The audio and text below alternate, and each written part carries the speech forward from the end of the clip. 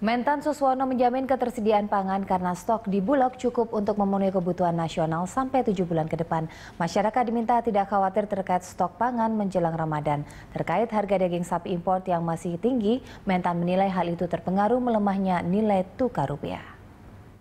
Yang selama ini nih sebetulnya ini karena ada satu apa ya semacam uh, dalam tanda kutip ritual lah begitu. Jadi kenaikan ini sebenarnya uh, kalau pasokan ini sebenarnya ada Ya, yang penting sebetulnya masyarakat itu nggak usah panik, ya. Jangan uh, panik itu aja. Artinya kalau beli ya berarti secukupnya. Karena seringnya belinya itu melebihi dari kebutuhan, yang terjadi kan akhirnya uh, apa namanya? Jadi uh, stok kan kadang-kadang di pedagang terbatas sehingga nanti terjadi kekurangan karena dia mem membeli terlalu banyak. Ya. Nah ini yang akhirnya apa yang terjadi ya ini dimanfaatkan oleh pedagang untuk menaikkan. Ini kan seperti tradisi, pokoknya menjelang Ramadan ya harga harus naik sepertinya kan begitu. Lalu kemudian nanti menjelang Lebaran juga naik lagi kan seperti. Nah ini sebetulnya e, karena lihat dari data-data yang ada di pasokan mencukupi sebetulnya tidak perlu khawatir. Ya stok juga pangan e, beras di Bulog juga di atas 1,6 juta ya, bisa untuk tujuh bulan ke depan.